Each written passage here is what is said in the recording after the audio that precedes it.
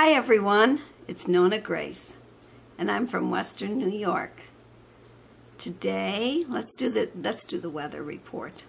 Everybody loves the weather, and we live for sunny days, and we live for um, maybe some of you live for cooler temperatures. Well, today was a was a warm day. I woke up and it was 70 degrees out, which is pretty good. Then it rained. I knew it was going to rain. And it rained just after I fed the chickens. Thank goodness I had fed the chickens. When I went out there, I could feel it spitting just a little. But it, I got the chickens fed before it rained. And I also went to exercise, which some of you are probably tired of hearing, but that was part of my day. I did go to the aerobics class, and um, I said to the one lady that, gee whiz, my heart rate doesn't even get up. Well, my walk program, I think, was more more um, heart pumping than this. This is this is too low key for me, but I will keep doing it because it's like going to a dance class for me, and I'm not real good at following dance steps sometimes. So this helps my brain. It'll keep my brain healthy because I have to learn new steps. Then I came home, and um, the I did my comments but you know, I used to do my comments first thing in the morning when I got up. The clock's going to bong. I think it's 6 o'clock. I'm a little early today, which is good. But um, usually when I get up, I would do my com. I would turn the television on because I, I Chromecast everybody to the TV, and then I turn you up loud enough so I could hear. And if it's a if it's a video that's talking, it's great. If it's a video that I have to watch, well, I wait till I have my coffee then I sit down and I watch you with the coffee. But typically I would get up and I would answer all my comments. But now with going out every morning has made it where I come home and have to do my comments. And then I get up and I take a break. And when I took my break today, I watched, I'll tell you who I watched. I watched Goat Shed, Goat Shed Tour. I think she's a funny lady. She, um, lives in a goat house. And, to, and the video I watched, she did a little tour of her goat shed. And, you know, it's really cute. It's really, really cute. And it brought back a memory of my childhood when we used to go pick berries across the uh, from our field was this little chicken shack, shack shed house. It was big. It wasn't little. And Mr. Poochie was the man's name that lived there with his wife, which we called Mrs. Paltzy. And it was always kind of funny because we would call her Paltzy and him Poochie. I think one was using the Italian name and one was using the more American name. But anyways, they had two dogs and they were Big Butch and Little Butch. really creative. Well, anyways, Mr. Poochie, he used to call over to my father. He'd go, hello, Elik. My father's name was Alex, but Elik. And then he would talk about us, that we were biggie girls. And he would he didn't really know our names, but he said, hi there, biggie girl. Hello, biggie girl. Elik, biggie girl. And that's how he used to talk to us. Well, one day, um, Mr. Pucci and Mrs. Paltzy, we would go over there to visit because their grandchildren would come and they'd spend the summer with them.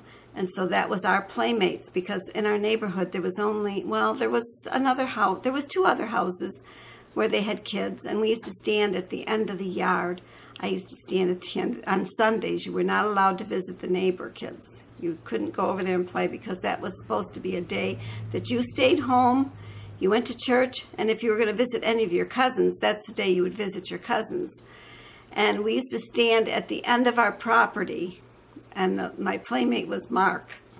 And Mark used to stand at his, and he used to do his, like, come on over. And I go, I can't. and I go, you come over. And he goes, I can't. so we used to do our, our, our motions and, and yeah, back and forth. And then there was the other, the other neighbor had the boy Frank who used to come over and play. We had boys mostly. And there was Martha. Martha used to come over to play too. That was Mark's sister. But um, Frank, Janice didn't come over to play. That was the sister, one of the sisters. He had two sisters, but Janice was more my age, but she didn't, she didn't play. But Frank used to come over. And Frank, I probably don't know if I should tell this. He used to kind of wet his pants. and we had a, we had a downstairs um, outhouse in the in the downstairs of the barn. We just to tell him that he needed to go home and go potty if he wanted to. Otherwise, he'd have to use our our our downstairs barn potty because when we were outside playing, we didn't go in the house to go potty. And we didn't have to go in the house to get a drink because we had the well where you pumped the water and you could get the water. So you didn't have to even go in the house for that. So we were we were all set. And he used to and we used to say, Frank, you better go home and go change because he would always leak. But um And um, my, my sister Lucy, hello Lucy, you're going to love this one. She used to give Frank slobber kisses. And you know what a slobber kiss is? We used to tackle Frank, get him to the ground. And then Lucy, she was the youngest one. She, she was just a little, she was like maybe four or five years old. She wasn't very old. And she'd go all over Frank's cheek. And we used to laugh like crazy. And Frank used to squeal. But that was okay. And then he grew to be bigger than us. He was a big boy so that kind of came to an end. But um, I got all the way over to, to Leon's, oops, hmm? house from Mr. Pucci's. Oh, well. We'll go back to Mr. Pucci's house. Let's go back down the road. And he lives in the chicken house. And his chicken house was not as nice as, as, um, as the goat shed tour house. That one was really nice. Well, when um, Mr. Pucci decided that, you know, I think he passed away. And I think Mrs. Polsey, she stayed at her other house because she lived in, in Jamestown, so she would go back home. And um, in the winter, she never stayed here in the winter. She was only here in the summer. And um, when Mr. Pucci passed away, one of his sons, that was a New York City policeman, got the farm. And he moved I don't know whether he moved the um, chicken house or Mr. Pucci had the chicken house moved before he was before he passed away. I don't remember. But anyways, the chicken house used to be um, one this direction, and then they moved it so it was this direction. It was a different direction. It was I don't know going north and south instead of east and west. Um, and they moved it. Yeah, parallel to the road is what they did. And but they had made this really nice basement before they moved. Maybe maybe Charlie did it, or Louis. I mean, no, Charlie was his name. There was two brothers. They were both policemen, but one was a policeman here and one was a policeman in New York City. And they built this basement, this really nice basement, and then they put that on top of it. And they lived in the basement mostly because the basement was really very modern and very nice. Now that house, you would never know it was a chicken house because now it's a beautiful two-story home because it's changed hands several times. And each time that somebody else moves in, they, they add on or they do something that's different. And they've really made it. It's a beautiful home. And so that was Mr. Pucci's house. And we used to go over to Mr. Pucci's when we were in the berry field if our water ran out, because we used to bring water with us in the berry field. And if we ran out and we wanted a drink, we used to go over to Mr. Pucci's pump. Now, on his side of the road, they had egg water, sulfur water. Theirs was horrible. Ours had a lot of iron in it, but it wasn't sulfur. So when you burped, you were burping eggs. That egg, if you ever eat a lot of eggs and then burp, oh yeah, that sulfur comes up. Well, everybody on that side of the road had sulfur water, and everybody on the opposite side of the road had hard water with a lot of iron in it. And so that was um, when we wanted a drink, we'd go over there. Then there was up the other end of the road, there was a Mr. Polizzi. We had old people living on our road. My parents were actually the youngest people on the road for a long time. And there was Mr. Polizzi, and he was up there, and he used to have relatives that came from Buffalo. And that was when this one, we had, our cow had just had a calf. And so in the first few milkings, you don't use because it's it's bloodyish. It's it's the freshening. It's the freshen. Yeah, it's it's bloody looking. And so when we were taking that off to give to the calf, um, the um, one kid says, "Oh, I never knew where chocolate milk came from. Must be that's where it comes from." And we laughed like crazy because we knew chocolate milk didn't come from a cow. We knew you had to put the chocolate in from the store or some other, you know, you had to put the cocoa in. But they thought, he really thought that that's how chocolate milk was. Well, Mr. Polizzi was another old man, and he never liked to bathe.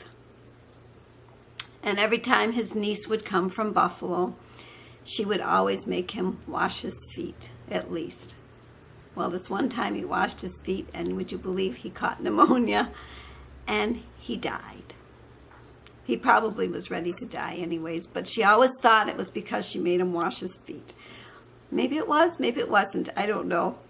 And I also watched on that little break that I was taking from answering my comments, I also watched Our National Adventure. And they were talking about campers and showing campers. And we've had, we're on our third camper.